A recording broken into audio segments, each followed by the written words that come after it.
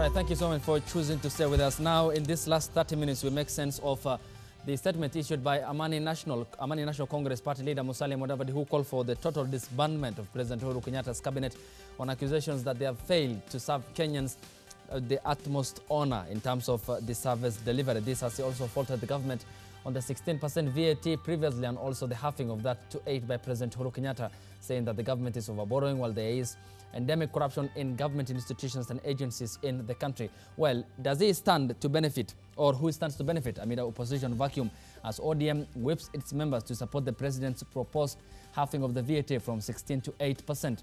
And is Musalia Mudavadi on course for a better service delivery as the opposition kingmaker in the country?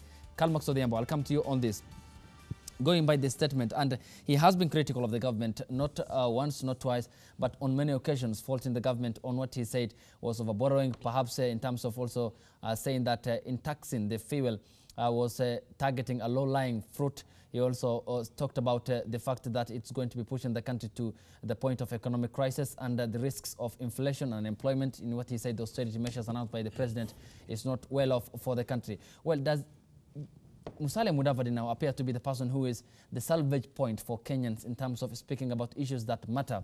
And uh, does it look like the person that uh, Kenyans should be looking up to in terms of the concerned authority or the political player out there who thinks about their welfare? Um, thank you, Ayub. But before I get to uh, Honorable Musalia Mudavadi take, uh, I think there was some. I- just wanted actually to uh, put more in terms of austerity measures that I think uh, we forgot actually to mention. You know, there is this KRA and the KEBS.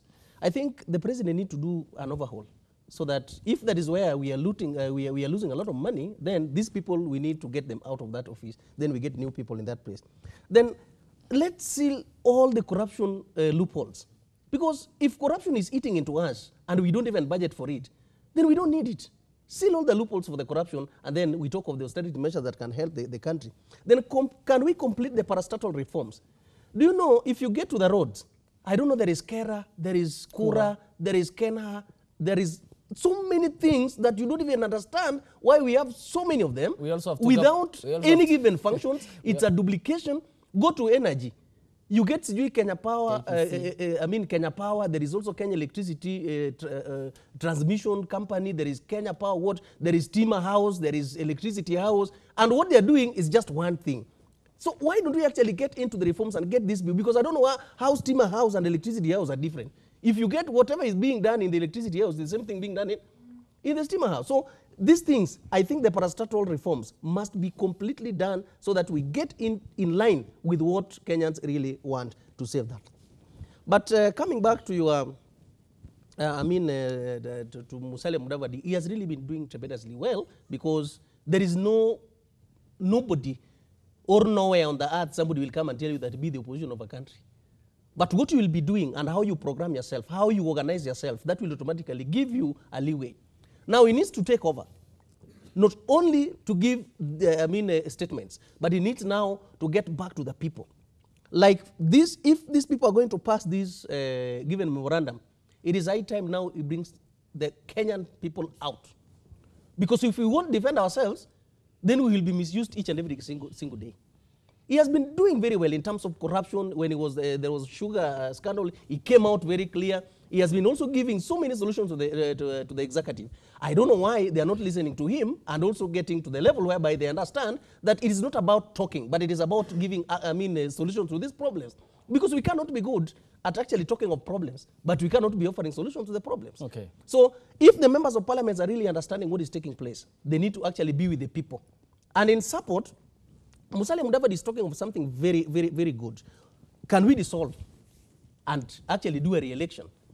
Even though it will be a tall order, because if you look at, uh, if you look uh, the, the current uh, Kenyan constitution, it will not be an easy thing for us actually to send these people home, because by the way we are at the mercy of the president. We can actually come up with because I think there are two dev- uh, distinct devices that can actually take us in terms of taking these people home. That is one, the referendum. Two, we can talk of the initiative. Three, we can talk of, um, uh, I mean, um, the plebiscite. We can as well talk of a recall. But if you look at all the four I'm mentioning, there is no clear way whereby a common citizen can actually take these people, take these people home. You will have to get back to the uh, president, I mean, uh, to the parliament. The parliament cannot debate what is taking them home. Even if you want to have all the signatures signed, there is no any other way again that this will not pass through them. So it will be a tall order. But again, we have to speak about it, and uh, actually, there are some reforms that can be done so that these things, they no longer, we no longer only talk about a process, Okay. but we have to make sure that they are going to happen. Okay, then uh, let's couple it up. Fredrick Okango here. We see the calls by also your party leader who uh, issued a statement pertaining that and also calling for the 0% uh, tax on fuel. Uh, we are seeing the likes of Musalim, whatever they come in uh, to say that they, there's, need to tax, there's no need to tax uh, uh, fuel in the country and giving the example that once the fuel gets into the country, it's imported, already the, ta- the tax levy is there and there's no need of re-taxing it again. So does it also speak to the fact that despite the whipping of members around by the president and the opposition chief ODM Raila Odinga, they are also the voices of reason here, the embodiment, the voices of the embodiment of reason in the society, who can as well take up the void, the vacuum, and speak to Kenyans on issues that matter to them economically. Ayub, I will tell you without a fear of contradiction that as a party, our consistency since the last election has brought us where we are. We have been consistent on what is happening in this country, especially on the national platform. And we have said that what we need to fix, we need to fix our legislation. We need to fix the way executive conduct business. We need to ensure that the judiciary is supported to have the corruption cases finished. Okay. And that's why we were lobbying for the judiciary to get at least more funds after they were denied or after their fund was, was a bit of it was, was scrapped off. We have said that we are going to change our politics. And I'm saying it this. When I leave here, I'll go to another station, I'll say the same thing. Okay. We are demanding that the VAT, whether it is 1%, 8%, 16%, it is unnecessary. If only we can make prudent use of the finances that we have, if only we can take drastic, drastic austerity measures that we have outlined in our statement and advisory letter to the president. Now, opportunity Okay. to lead this country is not an opportunity that you are given by the people. It's an opportunity that you identify when there's a problem and you offer a solution contrary to what the government and whatever leadership in place is doing. We have identified that opportunity and we have told Kenyan people that reject any attempt to be overtaxed. That right is in the constitution. You can apply it either directly to your uh, democratically elected representative or directly as you as an individual. Unfortunately, the democratically elected individuals who are members of parliament have failed. Now, the members of, of, of, of the public, I am calling upon you, take this right into yourself and exercise it because that is the only way that we are going to save this country. Lastly, we know that if we don't fix our issues, somebody is going to fix it for us. The two coalitions, the two political formations, have mobilized their members, even though they say sometimes that, oh, we are going to vote on the other side. I can assure you, today in the afternoon, and you'll bear with me, Okay. they'll call me and have this discussion, they are going to vote towards what they were mobilized to do. And that is, uh, th that is going to be against the wish of the common man. Somebody in Kibera who buys kerosene to cook will pay more. Somebody in Homa Bay County, in Kasipul Kabondo, who buys uh, kerosene to cook will Okay. pay more. Somebody in Gucci, uh, in, in, in, in Gucha district, Okay. who buys all those things will pay more. We are asking Kenyans, let us have a list of members of parliament who will vote against the will of the people. We have three options. Okay. The options are, and I agree with what uh, Mudavadi is saying. Mudavadi is saying that maybe we need to disband the cabinet because it has failed the president. The, it is at the prerogative of the president to disband the cabinet. But the question is, Okay. what next after disbanding it?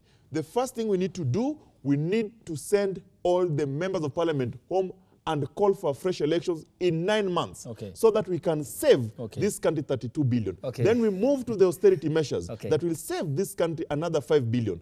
Then now look at what else do we need to do in terms of spending? Where are we saving?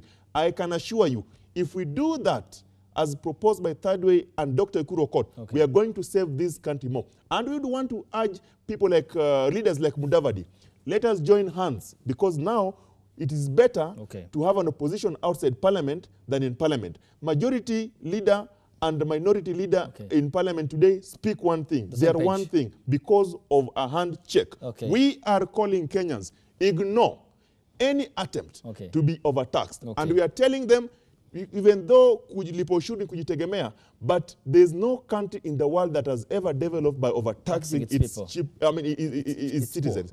We are asking Kenyans, after today, should the members of parliament pass this memorandum, then we are going to give you the next course of action. Okay, Anthony Bulima, let me come to you on this then. Does Mudavadi find, himself in the intricate of what, what looks like abandoning of its responsibility by the party leaderships of Jubilee and ODM to be specific because it was a meeting, an ODM affair meeting here in Nairobi. And does he come to bridge that gap in terms of uh, um, not in terms of the taxpayers not feeling abandoned in the sense that they don't feel the absence of the leadership because Raila Odinga at some point was passionate who who advocated for uh, socialism, inclusion of people in the affairs of the governance. But we see his passiveness, uh, passive, passiveness ever since the handshake and also coming out to support the president's cut or proposals on the tax. But is Mudavadi and Dr. Uh, Ad Mudavadi and Dr. Ekuru Aukot coming to bridge that gap in terms of uh, filling up the space and taking up the responsibility of perhaps uh, leading Kenyans from the front and uh, towards perhaps an economic progress and a success story of that?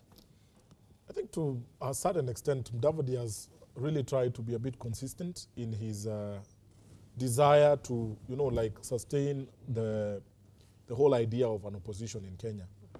But um, we are not just looking for an opposition that, you know, opposes for the sake of opposing.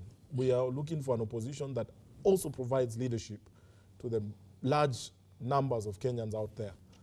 And I think that is where probably, in terms of strategy, that Mudavadi misses out.